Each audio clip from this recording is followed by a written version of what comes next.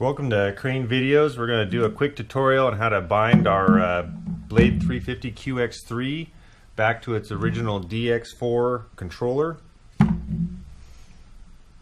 First we'll start off by powering up the drone.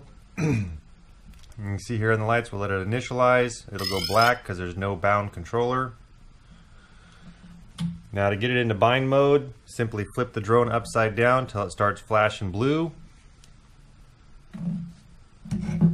On your controller, hold the bind button and power it on.